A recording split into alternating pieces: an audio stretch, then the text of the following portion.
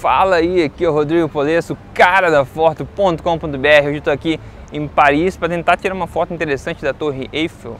Agora a Torre Eiffel, acho que eu acho que já foi fotografado qualquer ângulo desse lugar todo aqui ao redor, certo? Mas a gente sabe que para tirar uma foto interessante, é interessante mostrar uma perspectiva que não seja usual, certo?